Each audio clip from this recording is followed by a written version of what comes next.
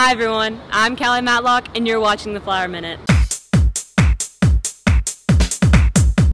With a new school year comes new changes, and this year we have several teachers teaching different subjects than normal. Let's take a look at some of these teacher switch-ups. Yeah, I'm really uh, excited this year to teach AP biology once again. I taught it years ago, and there's been lots of changes, and uh, so I look forward to this year.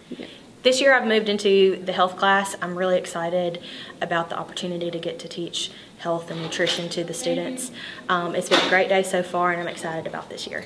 I'm Miss Weiss. I was the uh, calculus teacher since 2013 and then I also taught stats for, oh, I don't know, four years or something like that. Now I'm biology teacher as well. Um, so that's going to be different because it's a different subject. We'll be doing labs and stuff. I'm looking forward to it. It's going to be fun. That's all for today's Flyer Minute. See you next time.